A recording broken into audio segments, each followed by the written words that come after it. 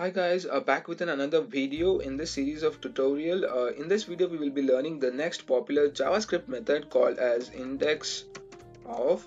So we'll be learning that. So I'll just quickly set up the things and uh, open the script and then I'll just give the title as index of. So uh, since because we are dealing with the thing and I just open the script tag and guys make sure that you subscribe to, to my channel uh, so that whenever I come up with some tutorials, crash courses, and programming related uh, stuff, you will be notified by by that. And uh, also hit that bell button and to get notified that. So I'll just quickly open some uh, declare some a string object over here, and uh, so in this string I'll just say hello, and I quickly console it to the log.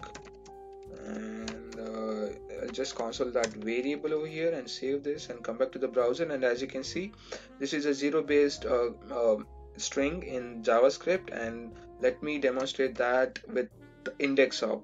So now what does this index of method do? I'll just say str dot index of and in this parameter I need to get I need to pass a, a substring of this whole string. So I'll just say uh, L and uh, just save this and let me check the output of this. And as you can see it is printing 2 so what do you mean by this 2 2 is an index of this substring which is found in this string called as hello. And notice guys we have two l's over here. The, the character 2l but it, it will search for the first occurrence of L in this hello. That's it.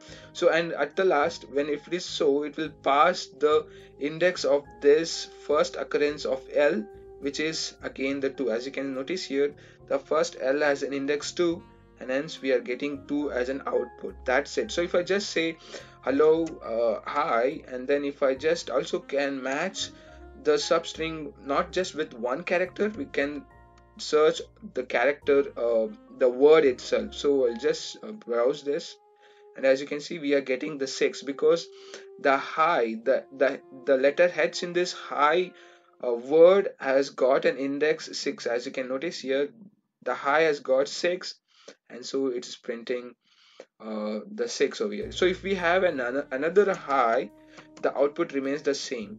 As you can see the 6 so it will first search the first occurrence of the let the character or in a word hi in this whole entire string. That's it. And return the string return the index of that uh, first character of that particular word or a character. That's it. And here we are the six of this letter h and this index will be helpful for uh, you know in character processing or text processing or you know string manipulation and all of those stuff. And it is also uh, mostly used in those areas of programming. And so that it will be helpful for all the you know javascript developers. And make sure that you know this. That's it guys. It's very so simple. And uh, uh, that's it all about index of method in javascript. It is a a you know commonly used method in javascript. And make sure that you subscribe to my channel and like this video and share and comment. And uh,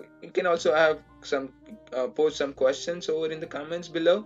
And i will be eagerly waiting for that. And uh, i will be helping you guys all the time. That's it. And see you in the next video